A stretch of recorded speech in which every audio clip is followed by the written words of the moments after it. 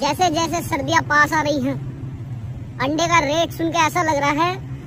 जैसे मुर्गी normal delivery से ना बड़े ऑपरेशन से अंडे दे रही है